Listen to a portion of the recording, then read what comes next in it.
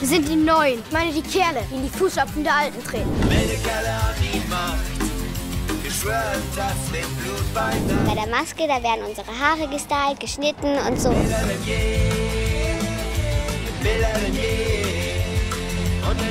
Ich vermute, dass meine Haare blonder gemacht werden. Meine Haare werden ein bisschen rot gefärbt. Wir kriegen eigentlich viel Zeug in die Haare manchmal, damit es mehr so, so ölig aussieht, als hätten wir unsere Haare jahrelang nicht gewaschen. Also ich glaube, ich bekomme auch noch Strähnchen, aber das weiß ich nicht so genau. Die wilden Kerle haben ihre äh, speziellen wilden Frisuren und die galaktischen Sieger dagegen die etwas glatteren Frisuren, damit sie böser aussehen. Sonst kriegen wir manchmal auch Wunden, hier zum Beispiel, und, ähm, und Dreck drauf.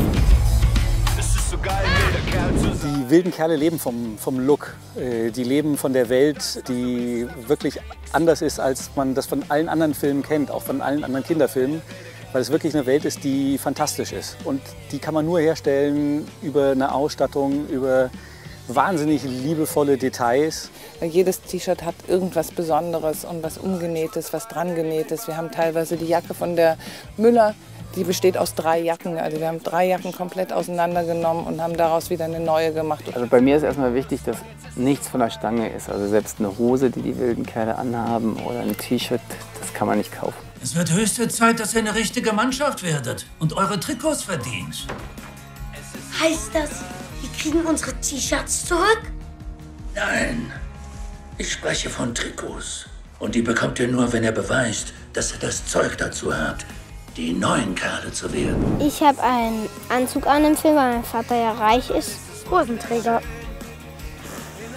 Das ist die Besonderheit an mir. Hosenträger. Plötzlich wunderschön. Ich habe so gut wie immer die Jeans an und die, Ho und die Schuhe.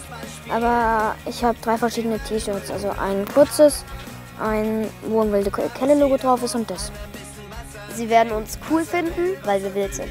Alles ist gut!